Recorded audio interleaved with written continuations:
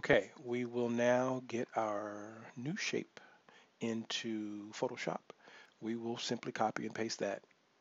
And so we edit copy, we go over to Photoshop, open up a new file, and uh, 1280 is good.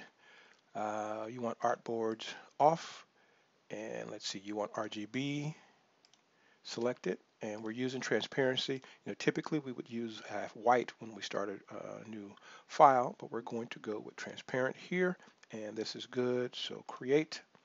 We're going to go ahead and paste our bottle in. We want to have shape layer selected, and it's there. It's hard to see, but it's there. And so what we will do from here is we will make sure that our 3D menu, our 3D workspace is selected, and we'll go to 3D extrusion, hit create.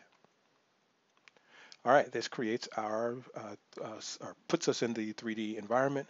And from here, we will uh, go to, um, let's see, it is the shape preset here.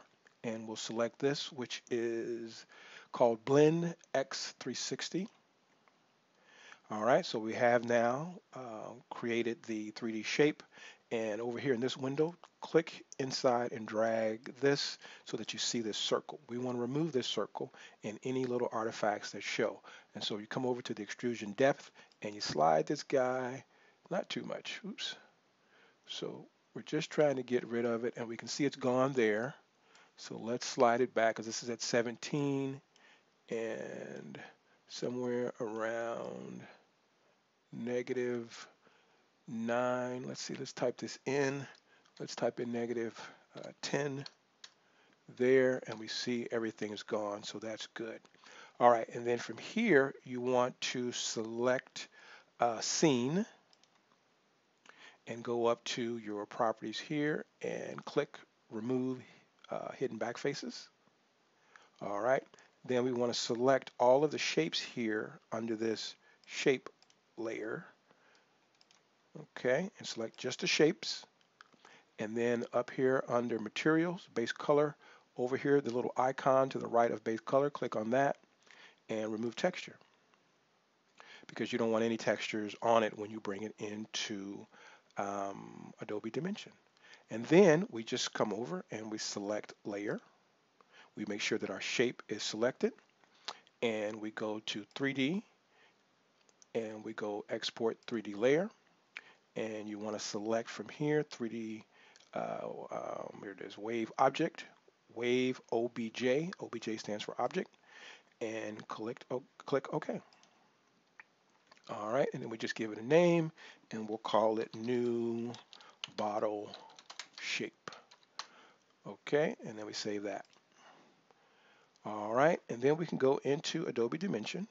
Uh, where are we? Where are we? Right there. Let that open up, create a new file.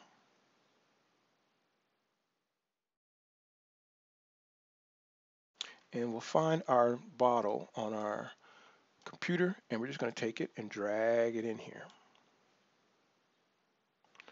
And then you hit, um, I believe, F on the keyboard to bring that into view. And there you have it.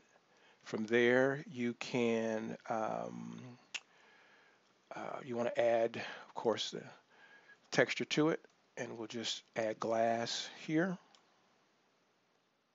And that's um, basically how you do it. Uh, one more thing you want to do with your uh, glass object is go to Object and um, generate UVs.